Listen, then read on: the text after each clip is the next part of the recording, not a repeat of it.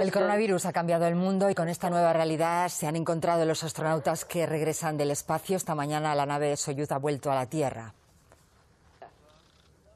Les han dicho que tienen que mantener la distancia y los han recibido con esas precauciones. Una norma muy difícil de cumplir en el momento de sacar a los astronautas de la cápsula espacial. Los tripulantes llevaban meses en la Estación Espacial Internacional, así que todo el equipo de rescate ha tenido que pasar pruebas médicas para no contagiar a los recién llegados.